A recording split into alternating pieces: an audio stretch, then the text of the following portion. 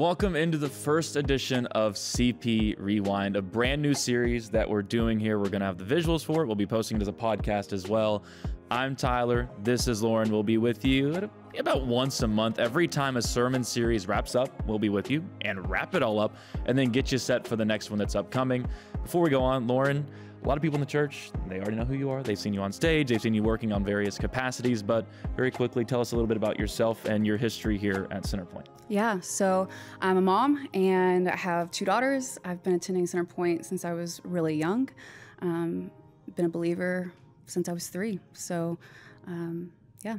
I think your background tied with mine makes this a fascinating pairing to do this because I've been at Centerpoint for I think we're coming up on the one year ah, anniversary oh, nice, now. Nice. Newlywed as of not even two months right. to my wife, who's been here with me alongside me at Centerpoint the entire time. Then I've been at the church. We came in, got plugged in pretty quick. We both work in a variety of fashions. She works with the children, help with worship, all the social media stuff. We've been able to work together with yeah. a lot of that. And it makes it more exciting that we get to do this together because we've been able to do some stuff behind the scenes. And this is something that we've wanted to do. Pastor Jason has wanted to do. Just have something where we take the sermon series as a whole, pack it together, and for about 30 minutes, just rewind everything that unfolded before us. And the first one we get to do it with is retro. retro. Jason was kind of excited that we decided to call this Rewind. And it just so happened that the first series was retro. We thought those went together oh, yeah. really well. I'll let you talk a bit a little bit about this first. Old habits that are the future of the church. We dove into four of them prayer, hearing from God, fasting, and sanctification. That last one, it felt like to me, Lauren, really tied the other three before it together into one bundle. Oh yeah, this has been one of my absolute favorite series. Yes. Um, personally, this is something that I feel like I've been studying for about a year now. Uh, I feel like there were several moments where you could hear a pin drop, and so I'm excited to unpack these messages. Um, it's encouraged me to like dive into them more mm-hmm. and um, to kind of dissect what Jason teaches us on a Sunday morning and how we can like further apply that to our lives. So I'm excited to do this. You could hear a pin drop, or if you're Pastor Jason on stage and you're keeping keeping count, you could hear a phone drop. Yeah, yeah. He's called me out on that Lots before. Of phones and I, I noticed that theme. I love that you bring up the idea that it's challenging because that's something that there are some sermons that you'll hear that go to one edge of that spectrum where you're listening and it's almost too much of a challenge where you feel like you're being called out and it's almost like a negative feeling that you mm. get inside. These almost felt like positive challenges of these are things that you can do that will benefit you. Here are those benefits, and here's how to do it, which leads us to the first one prayer. And there was a YouTube comment on the video. If you haven't seen it yet, the sermon on YouTube is titled, Does Prayer Still Work? And this comment stood out to me so much, and I'm going to read it as it was. This has been my favorite message so far and has been super helpful for me because I literally had no idea how to pray. Most churches think we already know this and never bring up how. Thank you so much for this. And I think, Lauren, that was the number one thing that stood out to me because I'd never really thought about it that way. You said that you've been saved since you were young. I've been in church all my life too. You just hear all the time pray about this, pray about this, pray yeah. about these things. The how sometimes doesn't get included in that conversation. Yeah, it gets lost a lot. Yes. And you can tell there were so many people in our church that really um, absorbed this message and grew from it. And I think one of the things that stuck out to me the most was when Pastor Jason said to pray what you got, which yes. I know he um, learned that from John Comer. He says that in his in his message. And so, what does that look like? Praying what you got. All I have today is fear and worry. Cool, pray it. Tell God about it. All I have is stress. Okay, pray. I've got thankfulness today. I, I got needs. I got okay. Pray what you got. What'd you bring in? Cool. Pray that to God. I was in a service earlier this week and um, I was trying to drown out the voices, like all the noise, all the internal noise, the external, and even at home, sometimes when I'm alone. That can be hard to do. And I found myself beating myself up of like, I'm trying to have a conversation with God. What am I supposed to be praying about? What am I supposed to be talking about right now? And in the middle of this worship service, I just felt these tears kind of roll down my face. And I remember like, pray what you got. And I was like, God, I've got pain today. You know, sometimes what you've got is an emotion, you know, yeah. and or it's one word, and that's okay. Um, and I think that was super impactful to kind of hear that and to find out that it's okay if what you have is what you what you have feels very little. Something else that Jason brought up was to be intentional mm. about it, and that intentionality can then link us to hearing from God. When we're intentional about what we want, God is intentional about letting us know what he wants as well. But before we move on to actually hearing from God in that yeah. sermon, there was another thing that that you brought up that I really loved And it's this idea that for us as people, because we're very prideful, very naturally, and sometimes Yeah. we don't realize, and sometimes it's not hugely intentional to go back to that word. Pride oftentimes can very easily get in the way of prayer. Yeah. I know you were going to ask me about this, but at home, I was really wondering what does pride blocks prayer look like in your life, honestly? Yeah, it, it's one of those things for me where I'm a control freak. I 100%, not just in terms of the things happening in my life, but if something goes wrong, I want to be the one to fix Yeah. it. So for me, it gets in the way when something is either not even something bad is happening, but when there's a situation where I think that I've got it fully under control mm. and I think that I can handle it. If it's something bad, I think that I can fix it. If it's something good, then I think I can keep it going. Yeah. That's when pride gets in the way mm. because I don't think to pray about it or I'm not going to pray about it because I've got it. I, I don't need I don't need to pray about this thing if I've got it under control. It's that idea again that I mentioned earlier of only going to God when you've got a need mm. or a want and finally waiting until oh well what I thought I had I don't have. Now I go to God Yeah. with it. So for me that's what it looks like. That's interesting. Yeah. Uh, for me, it's more of a time commitment. You Yeah. know, like you have to lay down yourself to make time and space for prayer. You know, it's not like reading the word where you're learning things. Um, it's a literal, kind of a selfless act to carve out that time and space for it. I think a lot of these things, and we'll wrap on prayer and then move on to hearing from God. But I I think of when you're a toddler and your parents or grandparents or whoever your guardian is is trying to teach you to do the very basic things. And I the number one example that I always think of is brushing our teeth. For some reason, no one wants as to do it. kids, and not just as a toddler, like eight, nine, 10, if you're 25 and watching this and you Yep. Still don't like brushing your teeth, that's okay. I hope you're doing it though. Mm-hmm. We don't like to do these true. things. And then as you do it more, you do it more, you do it more. Eventually Yeah. you wake up and automatically what do you do? You brush your teeth. Yeah. It just starts to happen automatically. And it's A, because it's just become part of your routine. But B, I think the other big part of it is as we get older, we learn what the other side of it looks like. So we know why we're brushing Mm. Yeah. our teeth. We know what happens if we don't brush our teeth. The benefits Yes. of it. Yeah. But starting small, like you said, that's kind of key. It's baby steps, and uh, that's going to be a, a big thing that we talk about, especially when we get to the final sermon of this. Yeah. Is all of the steps matter They in do. this process, and another one of those steps, hearing from God. The sermon, if you didn't hear it, God speaks. Who is listening? I had a guest preacher come in. That was. I, I wasn't here on the Sunday for the service, but I got to Mm. go back and watch it, and what a great word we got. Mm-hmm. Lauren, it stood out to you the opening illustration. Walk us through that the flash blizzard and the rope, and this idea that in that situation, the rope is hearing from God. Yeah, he. This was Pastor Adam French, and he came in the a week that it was actually snowing here, and he talked about flash blizzard. And I guess this is something that happens in different parts of the country where it is so snowy that you can't even see in front of you, and that people will tie a rope to their house so that if they are out when this happens, because it happens so quickly, that they can pull themselves back in, and that this is this is hearing from God. Like He is our lifeline. Like He is that rope for us. I truly, truly believe that the rope in our spiritual life is the ability to hear from God. And it's the most underli- under, uh, underutilized tool in the Christian faith. And we know this God speaks, but the question is who's listening? One thing that was talked about over and over again in that sermon was the idea that God speaks in the silence, which goes back to prayer. We want to find a silent spot and isolate so you can speak to God. But Lauren, we see in scripture over and over, this goes twofold. God wants to speak to us through that silence as well. Yeah, he does. It's a still small voice Yes. sometimes.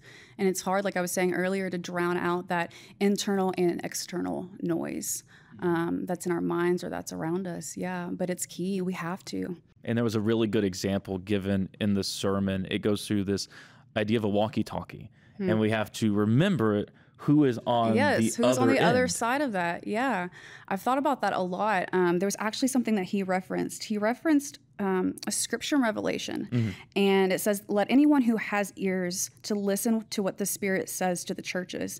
And um, I think you did the research on this. That that was used, I guess, seven times in the Book of Revelation. Yeah, yeah. And uh, I just, for whatever reason, that scripture stuck out to me. So I went did did a little bit of digging, essentially. So what my what my Bible says, it says in Revelation two, verse seven, let anyone who has ears to hear listen to what the Spirit says to the churches. To the one who conquers, I will give the right to eat from the tree of life, which is in the paradise of God. And my context basically says the one that conquers is the one that is faithful and obedient, and that there's spiritual rewards. And so essentially, we're kind of leaving spiritual rewards on the table by not walking out this faithfulness and obedience. And it was really cool because um, my context also said that this is an echo in scripture. So these are words in red that Jesus says. And he also Wow. uses these same words in Matthew when he's talking about the parable of the sower. Wow. And um, as he's talking about the parable of the sower, we know he talks about four different soils, right? Mm-hmm. And the fourth soil produces good fruit, which is what we're trying to do this year, right? We're growing roots, we're growing fruits. And um, that's the sign of a true disciple. And what's interesting is at the end of this parable, Jesus says the same thing let anyone who has ears listen. And you find the disciples in between the parable and the interpretation of the parable, right in the middle of that chapter. The disciples ask Jesus, like, hey, why are you talking this way? Why are you talking in parables? And Jesus responds that he wants to reveal the kingdom of God to you. And that's the whole thing is when I think about who's on the other side of the walkie-talkie, I have a God who isn't waiting for me to get to glory to experience his glory. Like he wants to reveal his kingdom and who he is to us like right now. Right. And that's exciting to me. Another thing that Pastor Jason said during the, ser- the sermon series is that that love does not waver and that desire to be with us also does not waver regardless of where we are because lauren if from the jump we were at the end of our journey what would be the point o- of all of this and a god that can help Yeah. us figure out where we're going Yeah, sanctification is a process. Yep.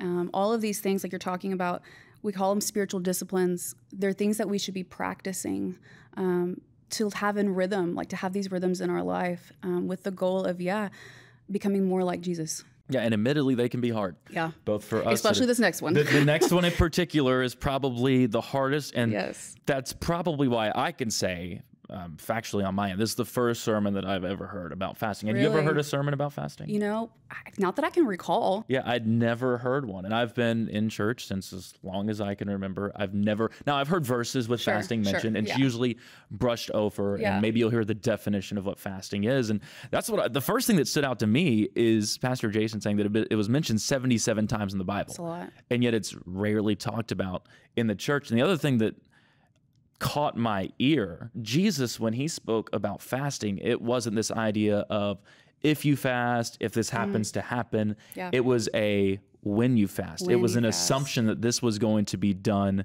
moving forward. I can say while it was probably the most challenging message to For hear, sure.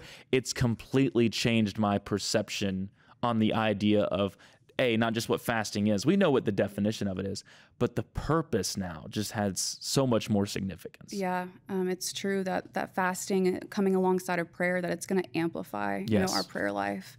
Um, it does empty. We have to empty ourselves. I think that's something that we both agreed on And with his message was the point of we have to empty ourselves in order to be filled. And so fasting, he talked about there's different ways to fast, right?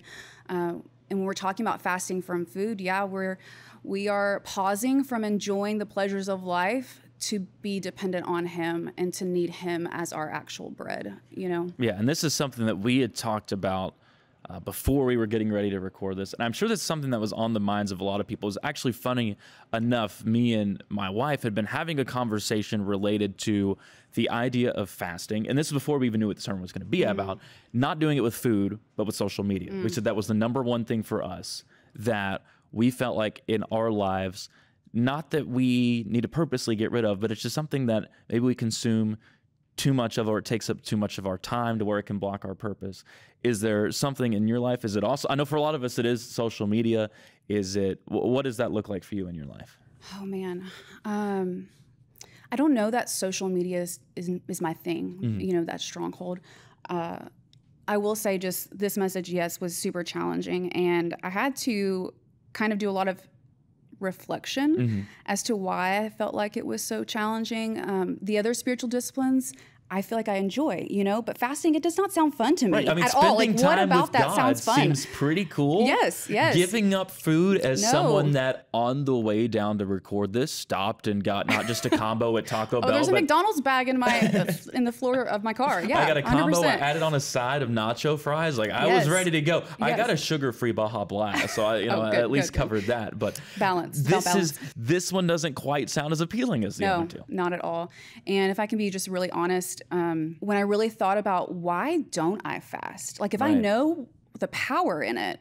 Um, why don't I do this? Like, what? Why am I um, blocking myself from receiving what God has for me? Um, and so when I really looked at it, though, it came down to fear. A lot of fear. Um, why would I want to commit to God, to myself, maybe to an accountability partner? Uh, that I want to fast from food specifically. Why would I want to do that? And then get to three o'clock in the afternoon. My kids are upset. Work has been stressful, and all I can think about is I just want an ice cold Dr Pepper. You know what I mean? Yeah. Like why? Why do I want to put myself through that or attempt doing this? Um, I realize it's just a fear. It's a fear of failure. It's a fear of letting God down, letting myself down, fear of not getting through it.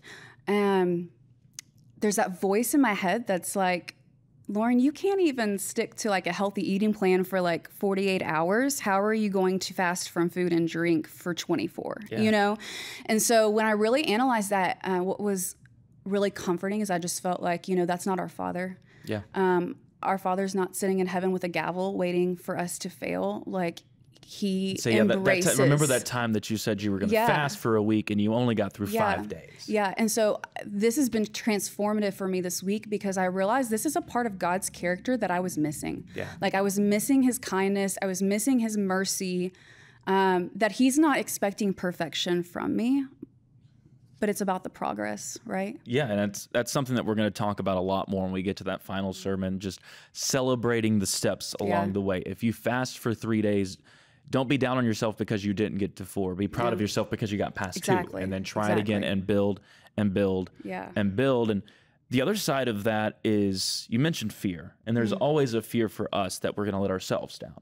For me, what creeps in is this idea that let's say I set out to do this for seven days. Mm. I do it for seven days, I achieve it, and seemingly on the front end, nothing happens. Oh, yeah. There's the flip side of, and this is common. Like, I didn't even Pa- think Pastor about that. Jason spoke about this, or there's times where he's fasted Mm. and he hasn't heard anything. And we heard um, Adam French speak about as well. There are times where he wants to sit and dedicate himself to hearing from God, and he doesn't hear anything. Mm.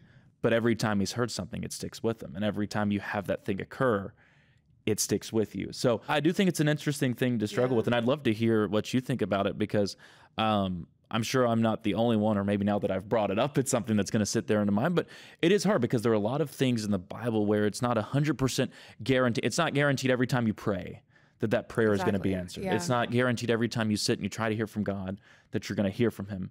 And yet we're incentivized to keep doing it because we know what can happen. Yeah, for sure.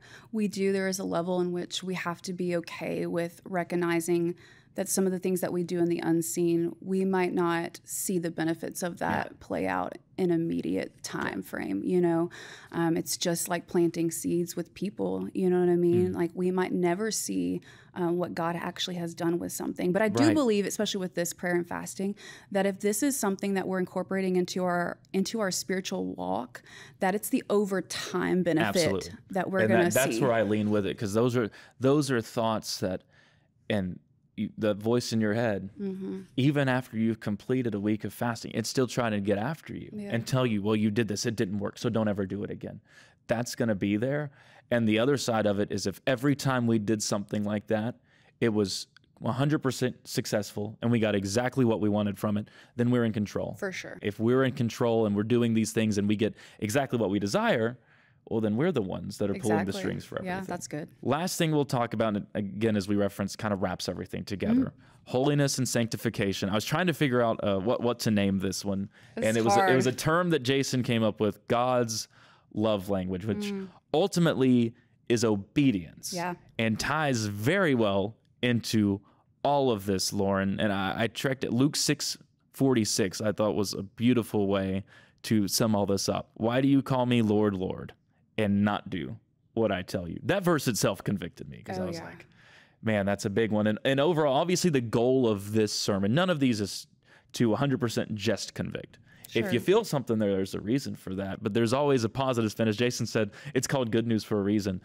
This one hit pretty hard. Yeah, this is that iron to iron. This is the sharpening that we need, um, the edification that we need as a body to know. It says it throughout Scripture, a lot of places, even in Ecclesiastes, it sums up that book with saying, um, all in all, it says, fear God and keep his commandments. Yep. You know what I mean? Like, if you love him, you will obey him. He loves um, to be obeyed. That's how Mm-hmm. that's how he is, and we show our love for him through faithful obedience. Yeah, and something that was really encouraging to me was this idea of holiness for God versus what holiness looks like for us. Because obviously we are not God. Right. If we were, we wouldn't need to We do all here. of this. And then that definition for us, holiness for us, I think is spectacular. The idea of being set apart Yeah. for God. And because of that, understanding the value that we really have because of who we're created by and who we're set apart Yeah. for. Is that something that Pastor Jason really dove into was that idea of now especially understanding the value we all have. Yeah. Um, I think about how important it is to realize that when he looks at us, he sees what his son did on the cross for us. Yes. And that's what sets us apart. And that's why we try to live the sanctification process so that we can be set apart in the world and draw others to him by the way that we live. Then it really took on a new meaning when he got to this part about how the audience matters. And the thought that just because you can do something doesn't mean you should. I don't know about you, got- Lauren. That hit me in the face like a ton It of got kind of awkward in second service when when we went down this road um, because he gave a really practical Yes. example of this. And yeah, the, the audience matters, and he's talking about not being a stumbling block to others. That just because we have liberties um, doesn't mean that it's not going to cause the next person to stumble. And so we do have to know uh, that the world is watching us. Yeah. So let's break this down into something a lot more practical for you and I. Some of you are perfectly fine with having a glass of wine with your dinner. You Methodists have two glasses of wine with your dinner. Does the Bible call that a sin? Some of you may say yes, some of you may not. But what if I invite somebody from church over to my house who's a new believer that comes out of the background of alcoholism? And for them, that's an area that they still don't know and they don't understand. And you just invite them to your house and they see you drinking. Can you? Do you have the right? Does it mean you should? I think about this too, not just from a broad perspective, but in those personal interactions, especially in situations where I look and there's specific friends of mine who I know may not be of the faith. And I can sit there and I can talk to them all day long. I can read them verse after verse after verse of scripture. Mm. And that isn't going to have No. an impact. But the way that I act and the way that I speak and the way that I handle certain situations Yeah. can be the most profound thing of all. Yeah, actually, it's it's interesting because my daughter and I, my oldest daughter, we just talked about this the other day because they're learning this in kids, Yeah. and she told me about how one of her teachers taught her and spoke to her about how like if you are going to go reach the lost or you know tell someone about Jesus, it's probably not going to be effective if you go in there and just you know read the Bible Right. straight to them and like you know throw it in their face for it would of be cool words. if we could go up to people and say, "Here's John three 16. Yeah, and, and, they just in. believed, and then they're on board, Yes. right? And they get to love Jesus like we love Jesus. That would be amazing. But re- the reality is, and my, my oldest said this, like we share Jesus by sharing His love Yeah. ultimately, like that through relationship with others too. And so the audience matters. Who we who we have in front of us. Are we sharing the love of God? And it's super convicting. Jason was talking about. Um, what have I done personally that maybe has led somebody else down um, the wrong Yeah. road? Yeah, There's so much weight Mm. on this. yeah, in that yes holiness and sanctification it's for us Yeah. it, there's a personal aspect to it obviously but there are such implications outside of just ourselves and that's another thing that jason spoke on was the idea that it is about us but it's not only about us it's not. and that's when it really starts to hit that importance and not a pressure but it, it then almost becomes a privilege of it is. all right i am this is how i can see that i'm doing something for the kingdom of god and this is how i can do it Yeah, he often says, what does he say? He says something about um, you have to like, growing. You have to disagree with yourself. Yes. essentially. Yeah. and that's what this is. Is you have to make decisions of things that you would have been okay with in your past, and you're putting yourself. Um, you're becoming selfless so that others can see Him. the last thing that I want to talk about, and this stood out to both of us. I noticed that uh, before I had posted the YouTube video for this, because for those that don't know, I make all those thumbnails and put them all together. You had shared the Facebook video of the sermon with, uh, I think you put progress over perfection. And then I made the thumbnail, and this is before I had seen it. I put on the thumbnail progress and then under it the word I did not realize that. That's hilarious. Crossed out. So we had the exact same That's thought cool. on this. We had the cool. exact same thing that stood out. This idea of progress of having such a significance. Not that perfection doesn't matter Right. because we have what we have because of a Jesus who was perfect Yeah. and granted this to us. But this idea that we want the church to be a safe place where progress is celebrated and failure is okay because we're going to fail.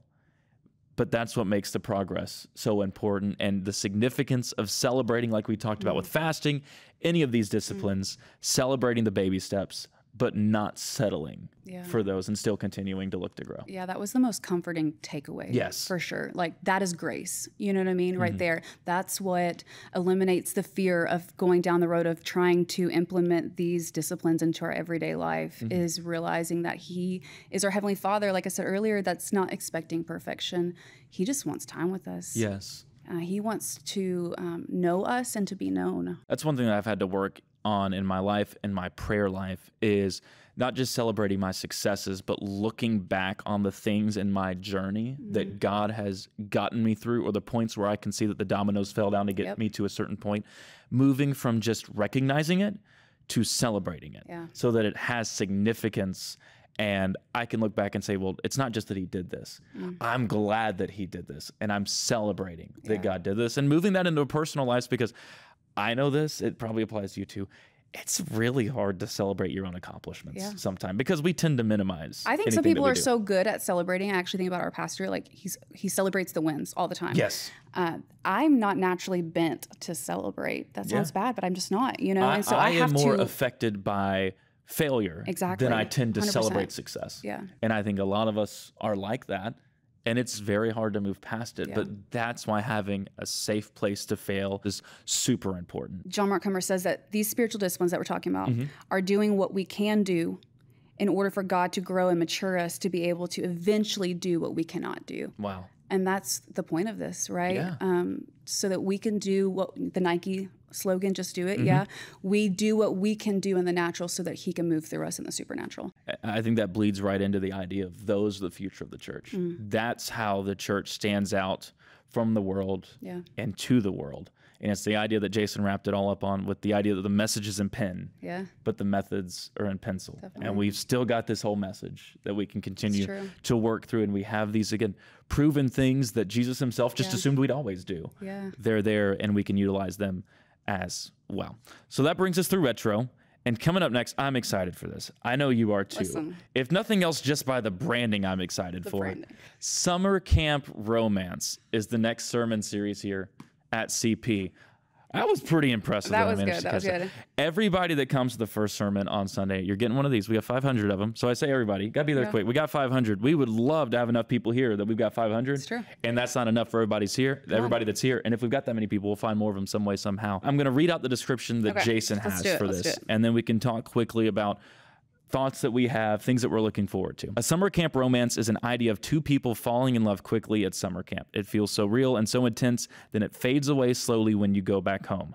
This is the same way we are at times with our relationship with God. It isn't supposed to be this way. There is a better way. What stands out to you the most besides the fact that we're looking at getting one I don't know because I don't know that I've ever actually had a summer camp romance. So I'm trying to like really, you know, apply this to my life. But yeah, just we do, we go through seasons where um, our spiritual life is just heightened. And then because maybe a lack of spiritual disciplines, Yeah. we kind of get off rhythm and get distracted. And so, yeah, I think it's how do we how do we live continuously um, knowing knowing who he is and how much he loves us, you know, and living from that place. I feel like building off that, it makes it a really good back to back, and it's almost like someone planned the schedule Mm. Yeah, for this to be what follows up the retro series. Yeah. It's going to be a blast. Summer Camp Romance. It starts this Sunday. Be there. Come get you one of these. We'll be there. Come say hi. Lauren, this has been a blast. It's been fun. We'll do it again after Summer Camp Romance. We'll be with you in about a Yeah. month. Thank you for stopping by for our first edition. See you Sunday.